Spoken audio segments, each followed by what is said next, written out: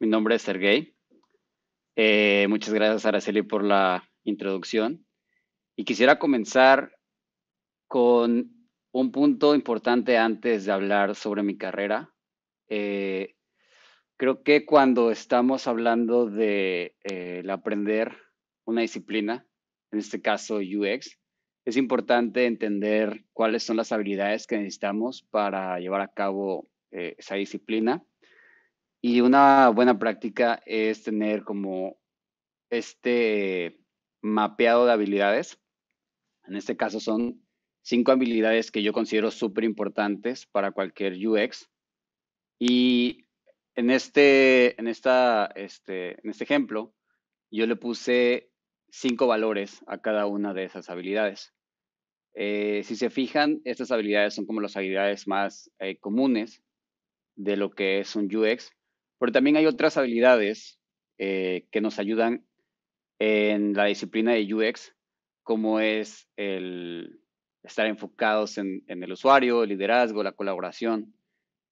Entonces, quiero que tengan esto en mente durante toda la plática y se lo lleven a su casa para que ustedes cuando tengan tiempo y quieran entender un poco más sobre su propia carrera, su propio camino, eh, puedan eh, primero entender cuál es el, panorama actual con respecto a estas 10 distintas eh, habilidades y cuál es el panorama que, bueno, cuál es la situación en la que a ustedes les gustaría estar. de esa manera va a ser mucho más sencillo para ustedes el poder este, enfocarse en algo que los lleve a obtener esas habilidades. Yo escogí estas habilidades, pero ustedes pueden escoger las habilidades que, les parezcan más adecuadas. Y bueno, eh, ¿cómo empecé yo? Es súper chistoso porque hace poco me estaba acordando de que cuando yo era más chico, a mí me gustaba mucho Blink-182. Y yo me acuerdo que cuando empecé a utilizar Internet, eh, yo me di cuenta que había mucha información de Blink-182 en internet, pero no estaba en español. Entonces, eh, yo dije, bueno, pues voy a hacer un sitio web de esa información y la voy a traducir, la voy a subir, ¿no? Fue así como empecé a, a empaparme de todo este mundo digital y empecé a entender, pues, cómo se hacía un sitio web y qué era lo que, en este caso, eh, implicaba el, el diseñar en front page y cómo era el subirlo, o sea, qué, era tener un servidor y todo eso.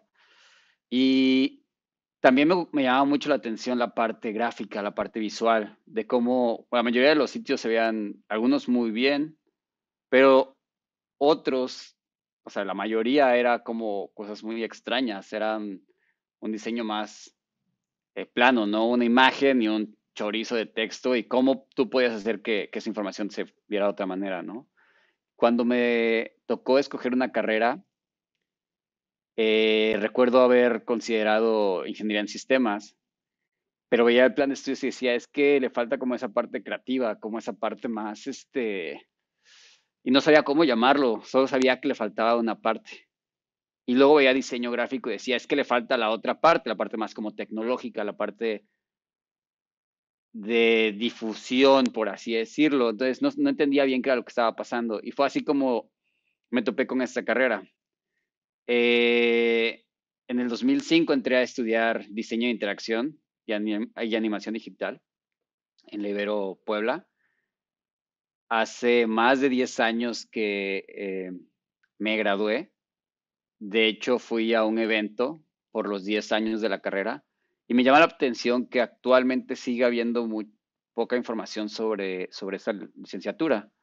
Eh, muchas personas me preguntan, eh, ¿cómo empezaste? Y la realidad es que así fue como empecé. Yo estudié la carrera de diseño de interacción, pero no muchos saben que esta carrera existe. Y no solamente existe en Puebla, también existe en, la Ciudad de México. Y me parece que hay otras ciudades que ofrecen carreras parecidas. ¿Qué fue lo que sucedió? Pues durante estos años, pues yo iba aprendiendo diseño de interacción animación digital. Aprendí sobre principios de Gestalt, aprendí sobre arquitectura de la información, eh, aprendí muchas cosas de eh, computación, del paradigma eh, computacional, desarrollo front-end. tuvimos clases de cómo hacer nuestro sitio web. En aquel entonces tuvimos también clases de cómo hacerlo en Flash, pero a mí me llamó más la atención la, la clase de HTML y CSS. Tuvimos una clase un poco más avanzada en donde ya hablábamos un poco más de base de datos, empezamos a hablar de PHP. Y a la par también tuvimos otras clases que en ese momento no me hacían mucho sentido. Eh, tuvimos clases con gente de comunicación y veíamos cosas como narración y guionismo. Inclusive llevé clases de lenguaje cinematográfico y de fotografía. No entendía mucho para qué me servían esas cosas. Eh, y recuerdo estar en la clase de introducción a psicología y pues no saber qué era lo que estaba pasando, ¿no? Y estas clases generalmente eran clases que podías llevar o con tus compañeros de, la carrera o con gente de las disciplinas. Llevé clases con psicólogos, llevé, llevé clases con mercadólogos, llevé clases con gente eh, de administración de empresas y yo siempre optaba por llevarlo con, gente de otras disciplinas, ¿no? Eh, porque me parecía que eh, de esa manera como que abría un poco más eh, mi horizonte. Y en ese momento no entendía qué estaba pasando. O sea, yo estudiaba y siempre fui como muy matado y le echaba muchas ganas, ¿no? Y, me iba bien, pero no entendía qué iba a hacer cuando me graduara. O sea, siempre era como que... Y luego, ¿qué sigue? O sea, recuerdo haberme graduado. Me gradué en diciembre me fui a, Córdoba, yo soy de Córdoba, Veracruz. Me regresé a vivir a Córdoba y pues pasé Navidad y pues me preguntaba qué sigue. Em, súper chistoso porque me acuerdo perfecto que durante este tiempo, como yo estuve en la universidad, pues no tenía mucho tiempo para jugar videojuegos y fue cuando me gradué que volví a jugar como que otra vez muchísimo FIFA y muchísimo Xbox me la pasaba súper bien y mis papás me apoyaron muchísimo. Me dijeron, no te preocupes, tómate tu tiempo, eh, elige qué es lo que quieres hacer y, puedes vivir aquí con nosotros y no hay problema, ¿no? Pero yo tenía como esa espinita de, bueno, ¿qué es lo que sigue, no? O sea, ya había estudiado todas esas cosas, ¿qué era lo que seguía? Y creo que eso es algo súper importante y voy a hablar de eso un poco más tarde. Pero es que cuando tú estudias algo, la información está ahí, pero no es hasta que empiezas a aplicarlo que en realidad se convierte en algo útil. Hasta que tú lo tienes, o sea, hasta que no aplicas algo, de nada sirve tenerlo en tu cabeza y de nada sirve eh, toda la teoría, ¿no? Porque no, no profundizas, no aprendes, no te das cuenta de que es todo eso que está detrás. ¿Qué fue lo que pasó? Yo me tomé mis ahorros eh, compré un boleto de ida a Monterrey, eh, guardé mi maleta, digo, guardé mi vida en una maleta, porque pues también me llevé mi, mi Xbox, y en realidad guardé todo lo que tenía, y me fui, me fui a vivir con unos primos, y yo dije, bueno, ahora voy a vivir en Monterrey, Monterrey siempre me llamó la atención, se me hizo una ciudad eh, pues muy diferente a, a lo que era Puebla, a lo que era Córdoba, una ciudad donde la gente tenía otro ritmo de, trabajo, otro, otra forma de ver las, las cosas. Y en ese entonces yo no estaba muy seguro si quería la parte de animación o la parte de interacción. A mí me gustaba mucho un estudio que existía en ese entonces, estaba en Monterrey y pues yo tenía como esa idea, ¿no? De que tal vez pueda hacer animación.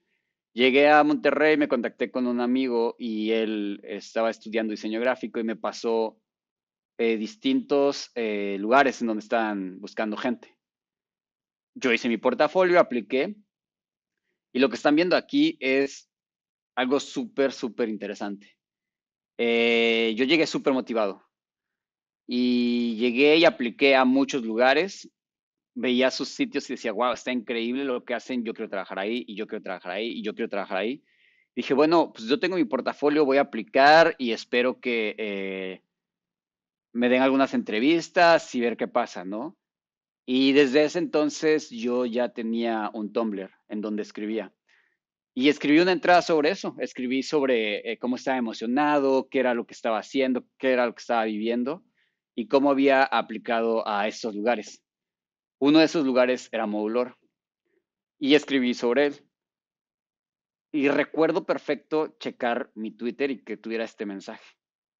Y para mí fue una locura, o sea, eso fue hace 10 años y fue, o sea, no, no lo puedo llamar por azares del destino, ¿no? Pero fue algo que me abrió la mente y me cambió completamente eh, la forma en que funciona este mundo o me ha funcionado a mí. Porque el yo escribir públicamente en mi Tumblr sobre lo que estaba haciendo con mi vida me hizo recibir este mensaje, ¿no? Y fue así como yo entré a trabajar como front-end developer a Modulor. Em, Modulor actualmente no existe. Eh, Modulor era la parte em, de interacción y de desarrollo de una agencia muy conocida eh, internacionalmente, que es Anagrama.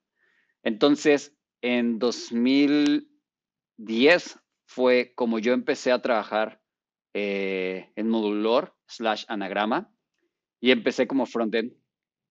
Eh, después de un año, eh, bueno, es, es importante mencionar que cuando yo empecé, yo empecé como practicante.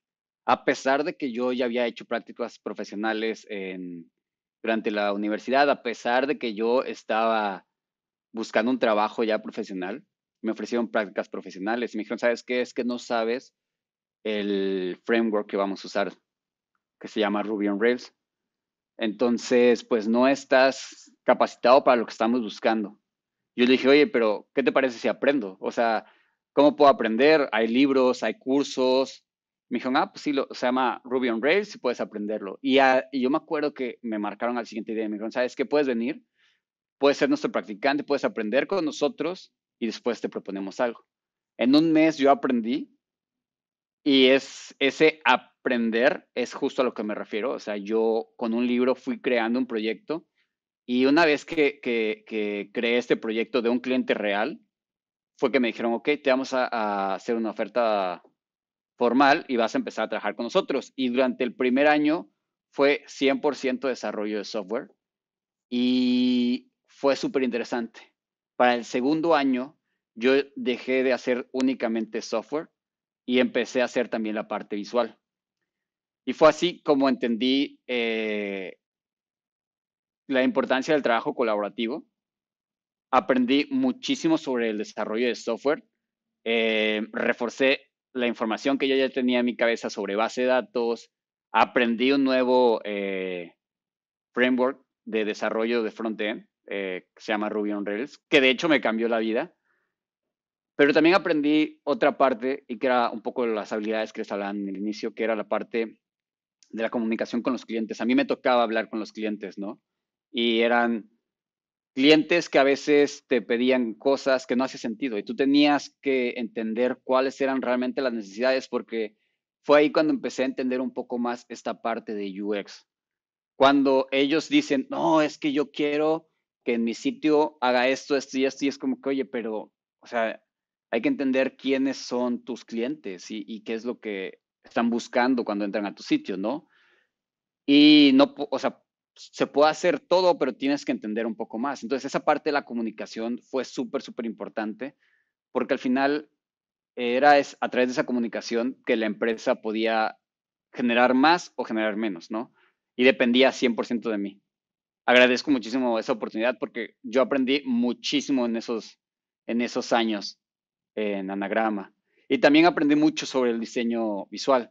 Eh, creo que estuve al lado de gente muy talentosa y solamente de verlos eh, trabajar durante un año en distintas cosas de branding me dio demasiado para yo al, segundo año que, que, estuve con ellos poder aplicar eso ya en propuestas visuales y sentirme más cómodo, ¿no? Con cosas como tipografía, colores, espacios etcétera. Entonces, así fue como empecé a, hacer cada vez más y más y más proyectos. ¿Y qué fue lo que sucedió? Que yo empecé a hacer proyectos completos, ya no solamente hacía el, el código, sino que también hacía el diseño y empecé a hacer freelance. Lo cual me llevó después de dos años y medio a renunciar a Anagrama y dedicarme a ser freelancer. En ese entonces yo sentía que em, mi tiempo en Anagrama eh, estaba llegando como a su fin porque ya tenía más ingresos de mi freelance que de, mi trabajo en Anagrama. Y aparte, estaba demandándome más tiempo esa otra, esa otra parte y estaba comenzando con, eh, con ciertas habilidades que no estaba desarrollando en Anagrama. Y fue así como dije, bueno, pues sabes qué, eh, me voy a, voy a renunciar a Anagrama y me voy a ir a viajar. Y fue así como yo decidí empezar a hacer freelance y tuve la oportunidad de irme a viajar. Ahora sí que a viajar por el mundo. Estuve eh, algunos meses en Europa eh, y luego regresé a México y me volví a ir a Europa. Y fue ahí cuando empecé a entender más sobre esas otras habilidades, como la administración de los proyectos, ¿no? Eh, qué proyectos sí tomar, qué proyectos no tomar.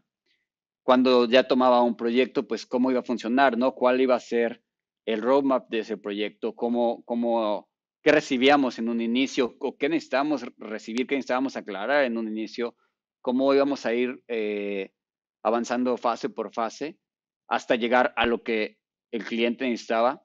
¿Cómo íbamos a entregar esos proyectos? En muchos de esos proyectos eh, yo lo hice completo, hubo otros en donde eh, colaboré con otras personas y en donde yo tenía que hacer únicamente una parte y tenía que entregar esa parte a otros. Eh, cuando yo trabajaba en Anagrama, pues solo se entregaba, se publicaba el sitio y eso era todo. De vez en cuando se le daba soporte, pero en este caso era que alguien más continuara, ¿no? O sea, era pasar el balón a alguien más.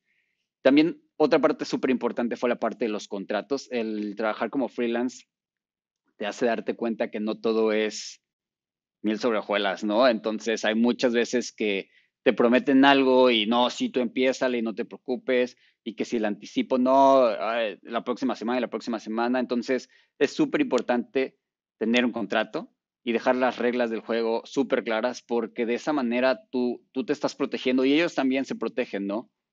Eso fue súper importante. Y también fue aquí donde empecé a entender que había otro universo llamado startup y qué era eso de los startups, cómo funcionaban, cuáles eran sus necesidades, eh, con qué se comían en general, ¿no? Y fue así como empecé también a tener colaboración con más personas de las que ya colaboraba eh, estando en una agencia. Lo cual me llevó a algo súper interesante. Eh, después de casi un año de estar eh, viajando, uno de mis clientes, y fue súper chistoso porque recuerdo haber tenido juntas con este cliente, yo estando en Bélgica, y después de, de, unos meses, pues él me dijo, oye, ¿en dónde estás?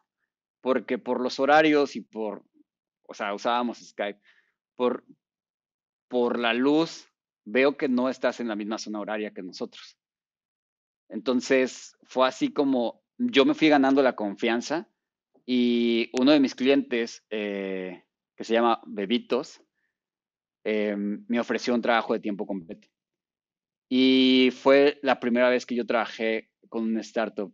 Y la verdad fue una experiencia increíble, porque nuevamente pasé de trabajar con muchos clientes y proyectos que si bien sí duraban algunos meses, pues era algo en donde tú tenías una entrega, ¿no? Y a partir de esa entrega, pues venía el siguiente, ¿no? y el siguiente y el siguiente. Y cuando tú trabajas en una startup, todo es súper distinto, cada día es súper distinto y tú tienes que cambiarte el sombrero eh, de un minuto a otro, porque en un momento necesitamos que tú seas investigador y que tú hagas pruebas de usabilidad y que tú hagas A-B testing y que tú eh, estés al lado de atención al cliente para escuchar las llamadas y saber qué es lo que está pasando, pero a los dos minutos necesitamos que tú te juntes con el equipo eh, de negocios para entender cuáles son los números, cuáles son las proyecciones, cuál es la situación actual, qué es lo que estamos buscando. Fue una experiencia increíble.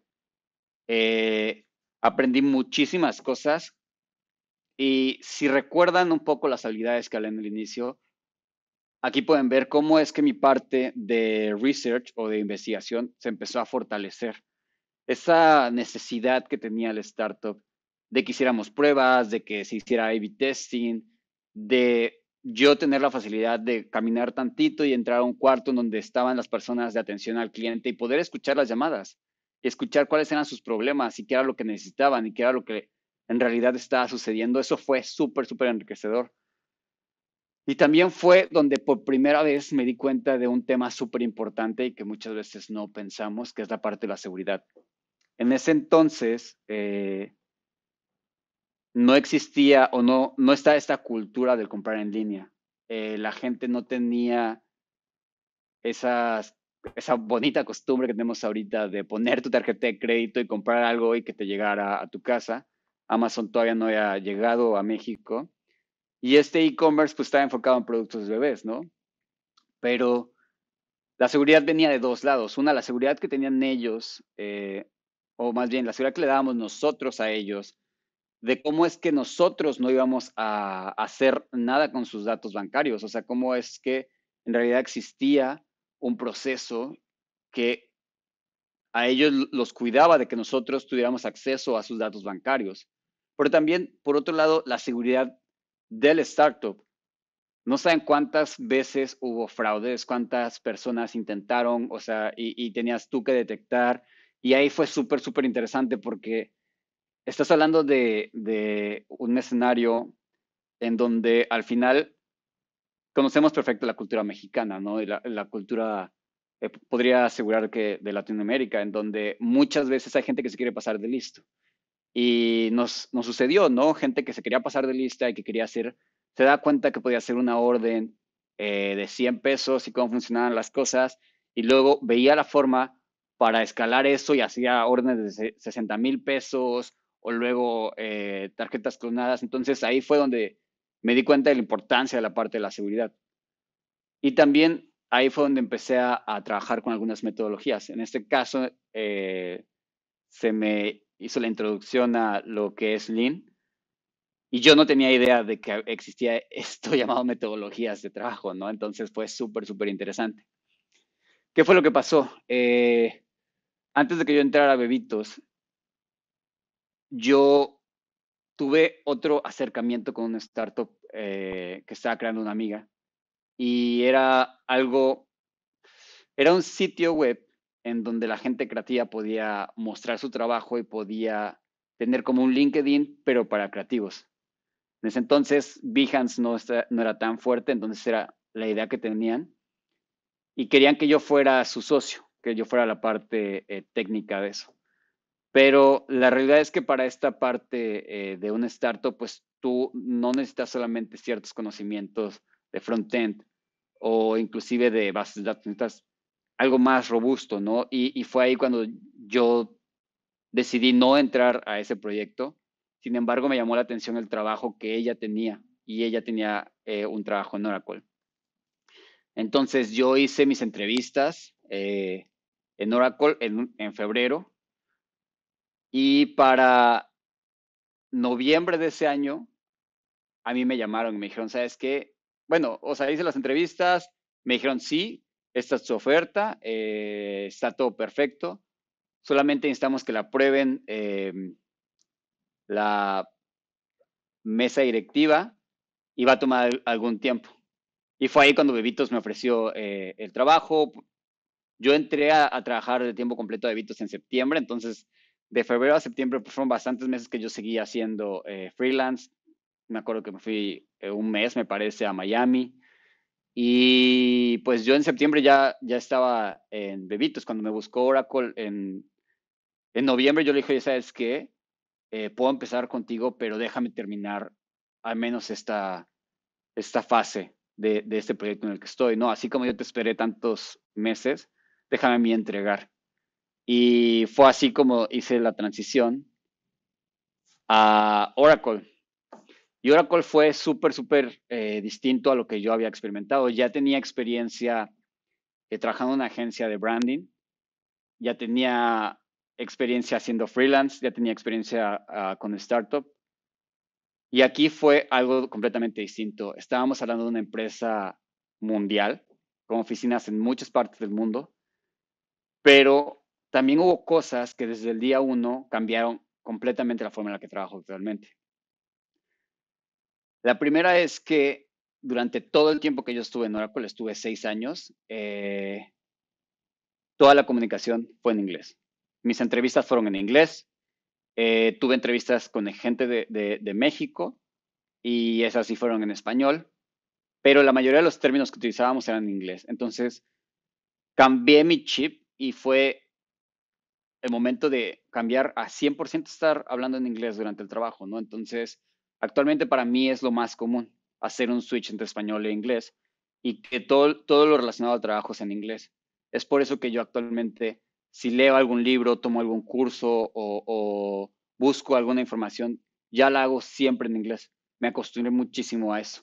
Pero también la mayor parte de ese tiempo, mi jefe directo era alguien remoto y era alguien que hablaba inglés. Entonces, yo tuve que aprender a tener un jefe remoto, un jefe que estuviera en otra zona horaria, un jefe que estuviera en otro país, un jefe que hablara otro idioma. Y eso suena desafiante, pero luego tienes que pensar en todos esos escenarios, porque el trabajo no es únicamente, oye, tienes que hacer esto, ah, ok, oye, tienes que presentar esto. Y si te quieres ir de vacaciones, me tienes que, decir, o tenemos que negociar, o si quieres un aumento, o si quieres eh, que te promuevan, pues todo eso se tiene que manejar en inglés, ¿no? ¿Y cómo es que tu vida deja de ser únicamente eh, una forma de comunicar, sino que tienes que adquirir otras habilidades. Afortunadamente yo eh, aprendí inglés desde muy chico y no me costó trabajo, pero, pero es algo súper, súper desafiante en un inicio. me sigue sucediendo, ¿no? Ahora con, la pandemia, pues la mayoría del tiempo estoy hablando en español cuando no son horas laborales y a veces me cuesta trabajo eh, esta interacción en otro idioma, en este caso en inglés, a pesar de que eh, mi vida debería ser más en inglés, ¿no? Ese tiempo en, en Oracle también tuvo algo súper importante para mí, que fue el enfoque en la parte de diseño. Hasta antes de Oracle, yo había tenido que estar cambiándome constantemente el sombrero, estar constantemente haciendo tanto la parte de desarrollo como la parte de eh, diseño e inclusive la parte de negocios en algún lado. Eh, eh, aquí era, no, aquí tu rol es UX y tú vas a hacer UX, te vas a enfocar únicamente en esta parte. Hay gente de desarrollo muy buena, muy capaz, gente brillante y hay gente en otros roles que te van a ayudar con otras cosas, tú te tienes que enfocar en eso. Eso también fue súper importante, porque también la habilidad de tú poder enfocarte en, eh, eh, o sea, hacerte experto en algo, es algo que suena muy sencillo, pero, pero puede ser muy, muy complicado, porque te empiezas a dar cuenta de los pequeños, grandes universos y galaxias que hay dentro de cada disciplina, ¿no? Como es todas las habilidades, o sea, la parte de la investigación el universo enorme que hay ahí adentro, ¿no? La parte de diseño visual, lo mismo. Entonces te das cuenta que solamente dentro de la parte de diseño hay muchísimas cosas que hacer. Y luego otra parte súper importante fue el entrar en el diseño empresarial. Y yo he escuchado a mucha gente decir que el diseño empresarial, pues es igual que el diseño normal. O sea, el usuario es el usuario. El usuario también tiene un Android o un iPhone y el usuario también usa Instagram, también usa LinkedIn. Sí, pero esos no son tus usuarios. O sea, ese no es el sombrero que tienen ellos. El diseño empresarial es diseñar algo que la gente no decide que, va a usar. Cuando yo decido usar iOS en lugar de Android, yo estoy tomando la decisión, yo puedo cambiarme en el momento que yo quiera, yo puedo decir, sabes que ya no quiero esto y me voy al otro. Cuando yo decido TikTok o Instagram o tener los dos, yo estoy decidiendo. El diseño empresarial no. El diseño empresarial es algo que tu empresa decidió invertir miles o quizás millones de dólares para que tú puedas usar en tu día a día y tu trabajo sea mucho más sencillo. Pero tú no tienes opción. Entonces, no hay con que yo, a mí no me gusta y me voy a otro lado, ¿no? O sea, probablemente sean licencias de años. Y son licencias y son cuentas que obviamente empresas tan grandes como Oracle no quieren perder. Entonces, es un enfoque completamente distinto. Entonces, cada vez que, ustedes piensen en diseño empresarial, piensen en esa parte, en donde la gente que, que usa estas herramientas es gente que depende de ellas. O sea, tú estás creando algo que la gente va a usar para llevar dinero a su casa, para comer. Eso es súper importante. Y te das cuenta que la gente empieza a, hacer, eh, a tener trucos, a tener mañas.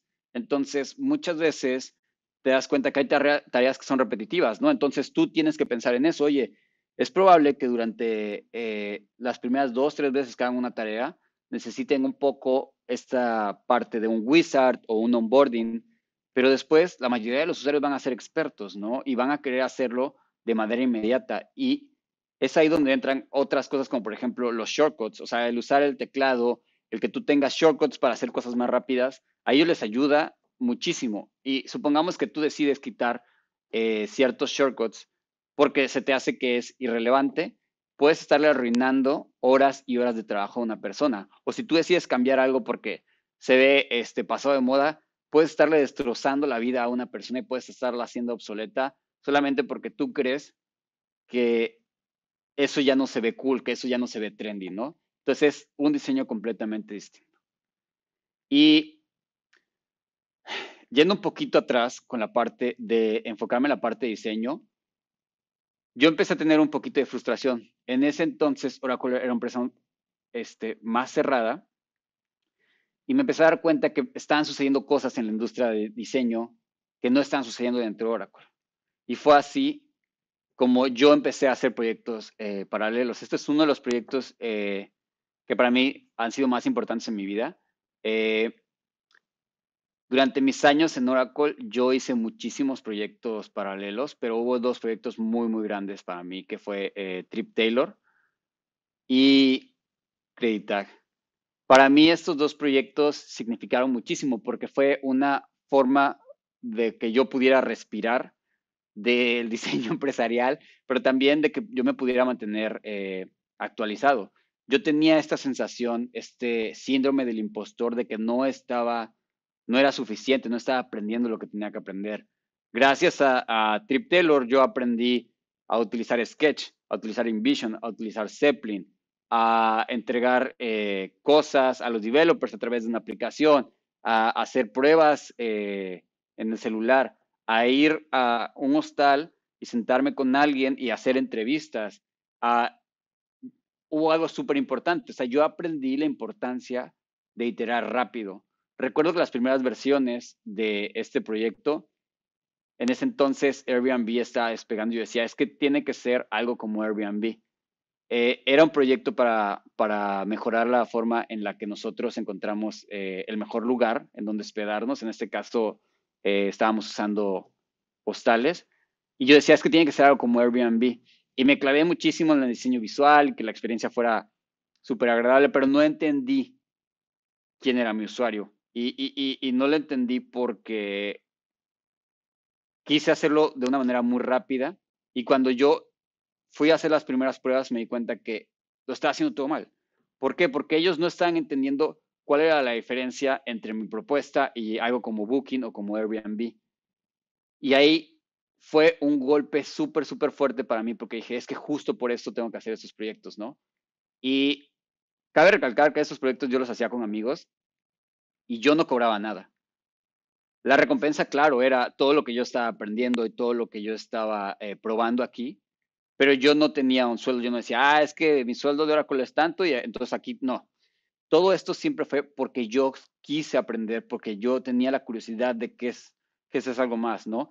En el caso específico de Trip Taylor, yo aprendí muchísimo sobre inteligencia artificial.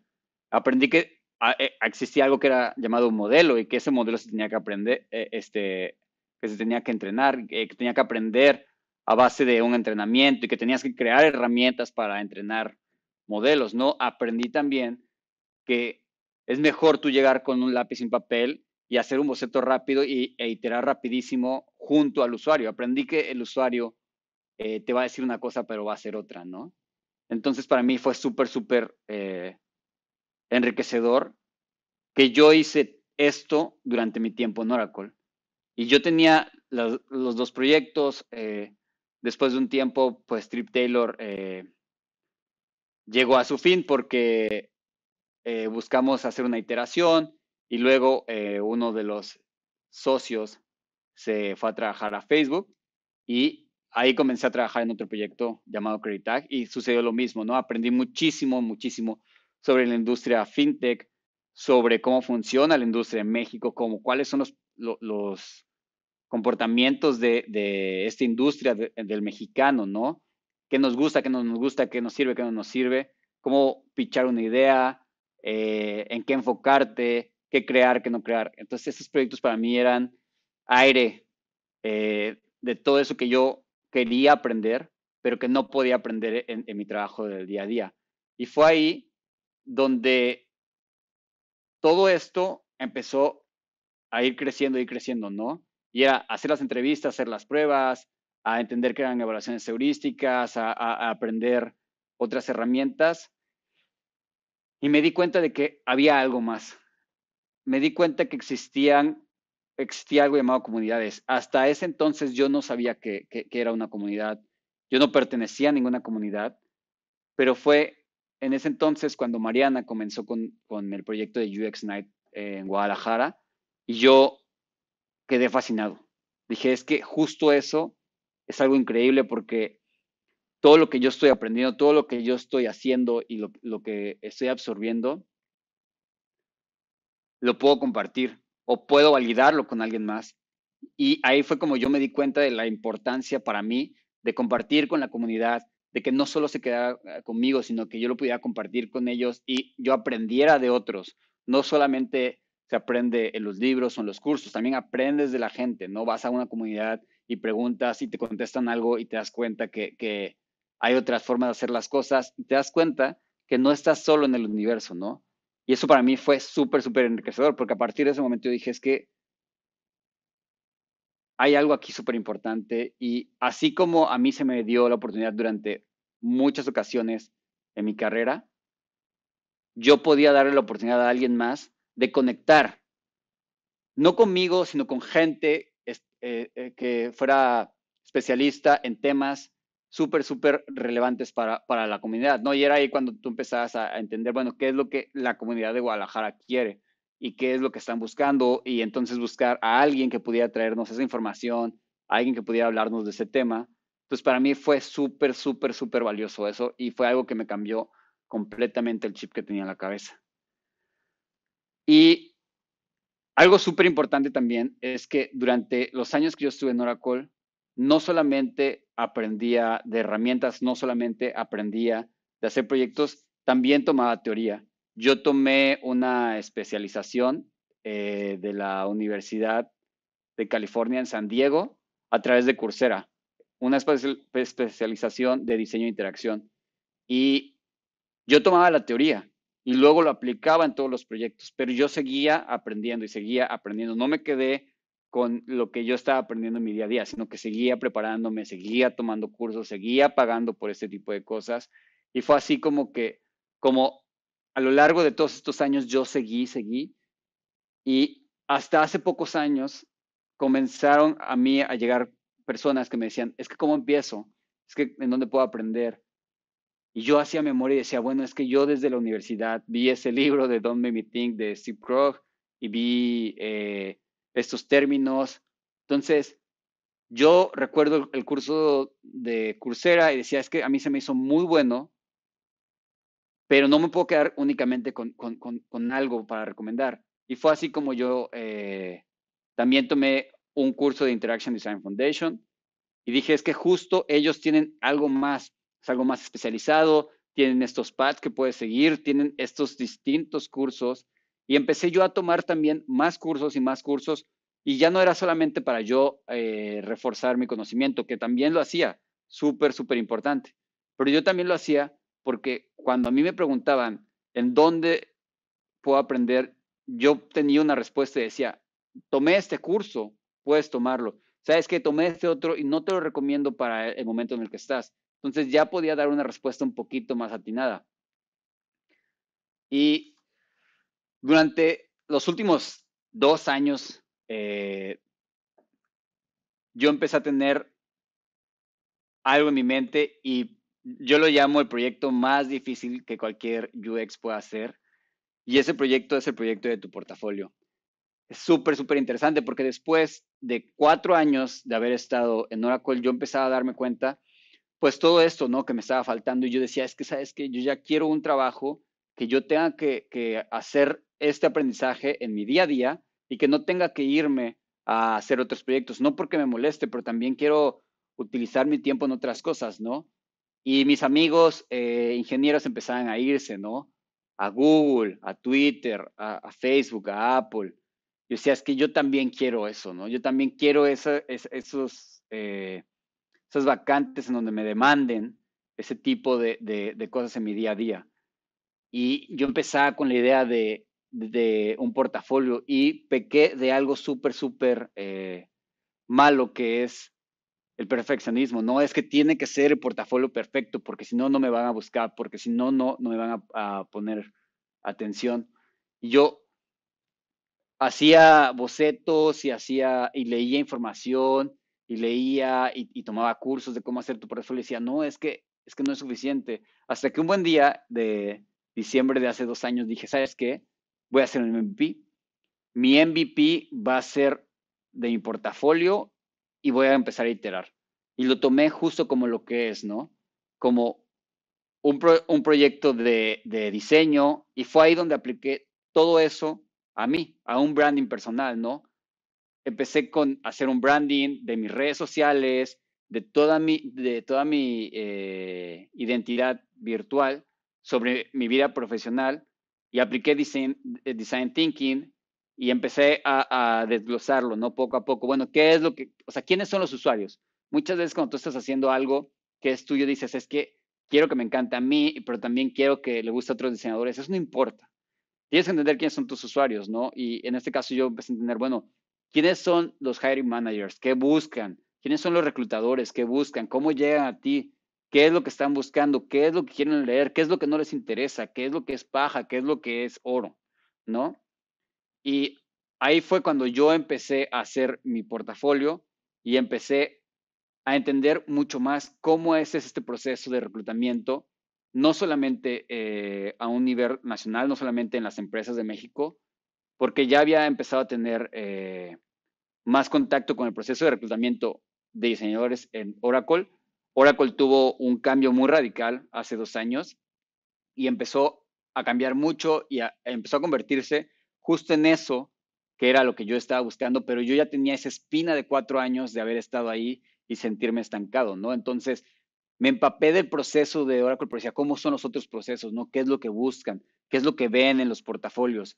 Y fue ahí cuando el año pasado hice aproximadamente 15 procesos en distintas empresas.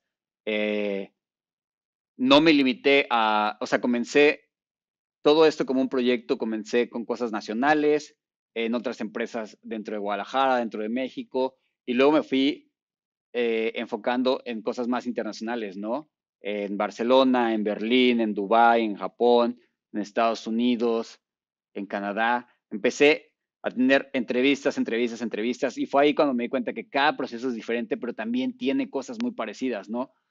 lo que en realidad buscan, pues es esa comunicación en inglés, ¿no? Que tú puedas tener una comunicación perfecta, que, no haya eh, este tipo de, de, pena o, o, de problemas, porque ellos entienden, al final no es nuestra lengua materna, pero también tú te sientes con la seguridad de decir las cosas y, eh, al final lo que estás haciendo es que tú estás eh, mandando un mensaje y ellos pues tienen que de cierta manera decodificar el mensaje y decir, ok, esto, esto es lo que está sucediendo, ¿no?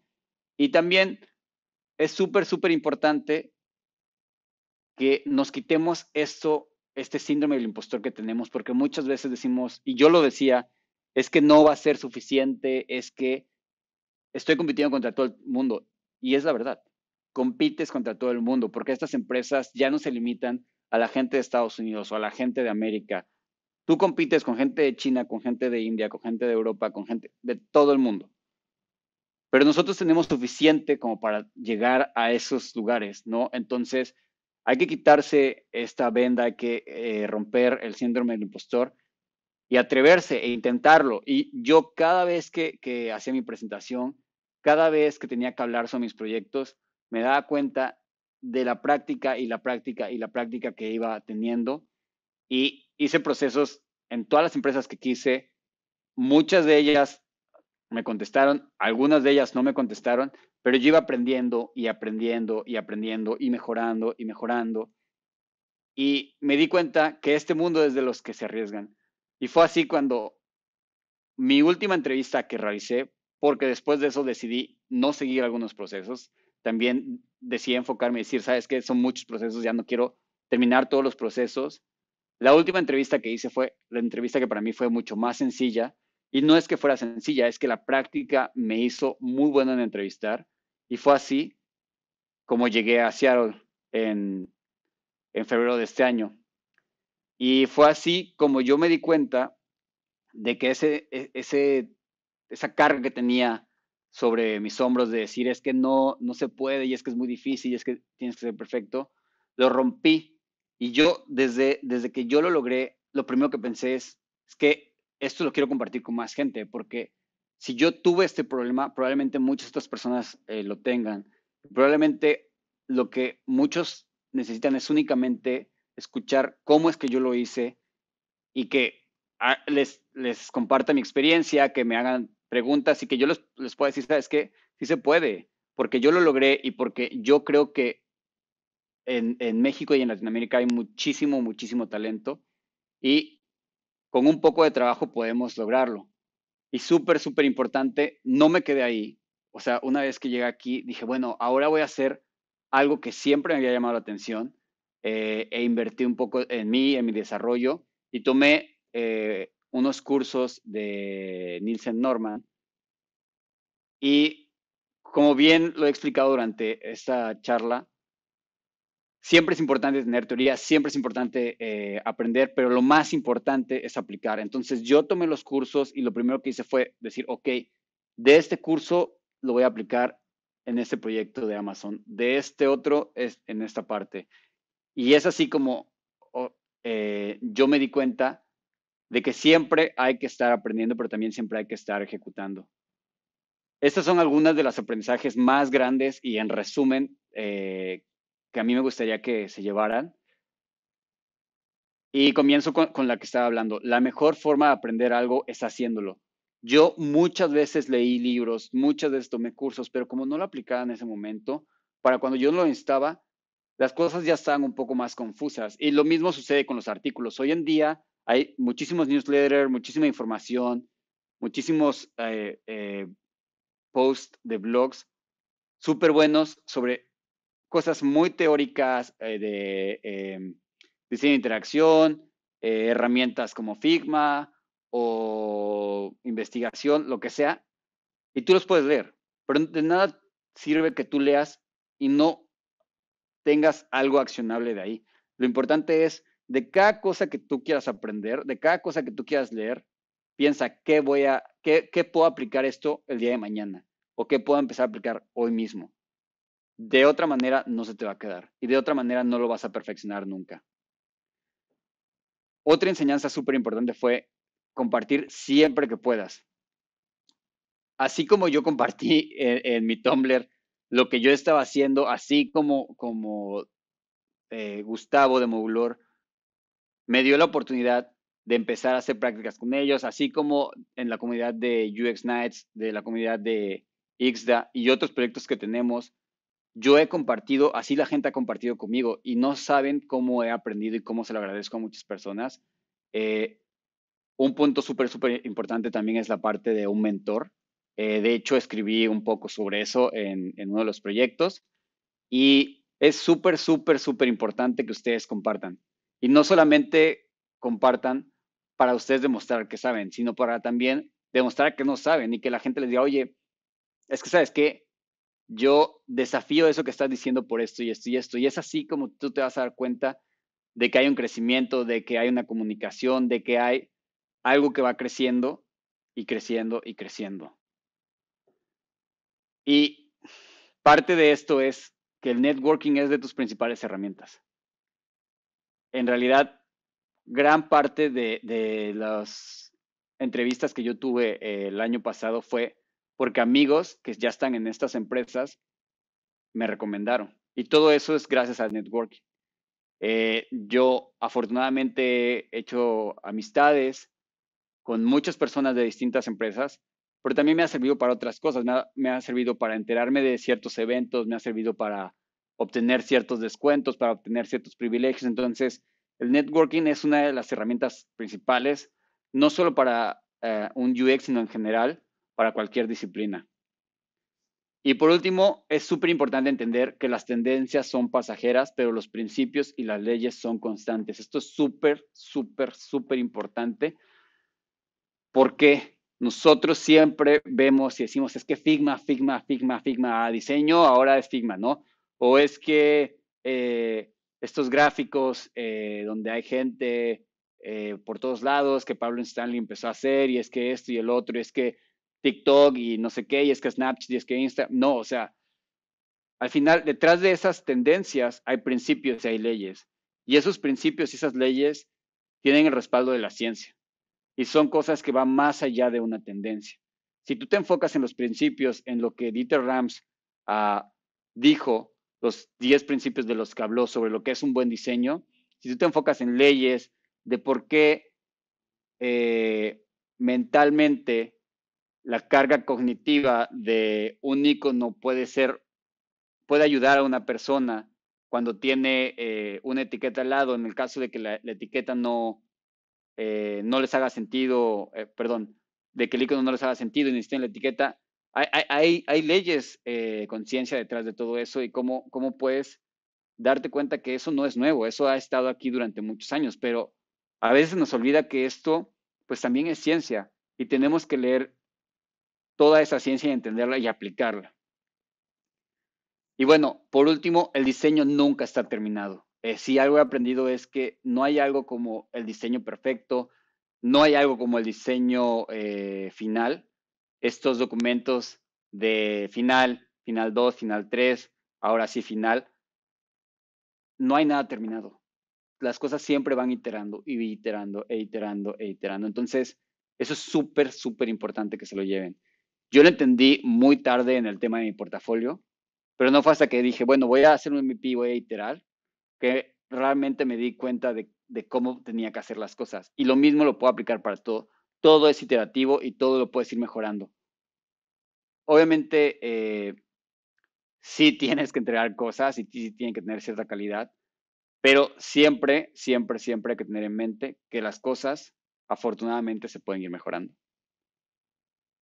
Y esas gráficas que yo les mostré eh, en un inicio, se pueden ir viendo como algo, algo, parecido a esto, ¿no? En donde conforme tú vas avanzando en tu carrera, te vas dando cuenta, pues, cómo te vas convirtiendo, ¿no? E, e, en, en una persona con ciertas habilidades.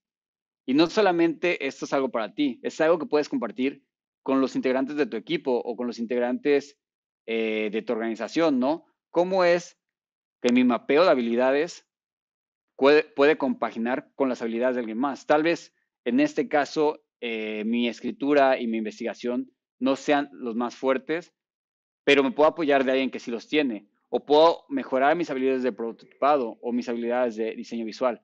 Entonces, retomando con, lo que eh, inicié, recuerden que cada vez que ustedes quieran entender cuál es su situación actual, pueden hacer este ejercicio y les va a servir eh, para ustedes poder mapear cuáles son sus habilidades y entender en dónde están y hacia dónde quieren ir. Y bueno, pues muchísimas gracias a Software Uru y a todos ustedes por escucharme. Hola, gracias por quedarte hasta el final del video. Recuerda que puedes ver más contenido como este en nuestro canal de todos los eventos a los que asistimos porque we love devs. Y acuérdate de darle like, compartir, suscribirte y darle a la campanita para que estés al pendiente de todo nuestro nuevo contenido. Además, seguirnos en todas nuestras redes sociales para que siempre estés al día sobre todo lo que subimos. Además, aquí te dejamos otros videos para que los puedas ver. Exacto. Gracias.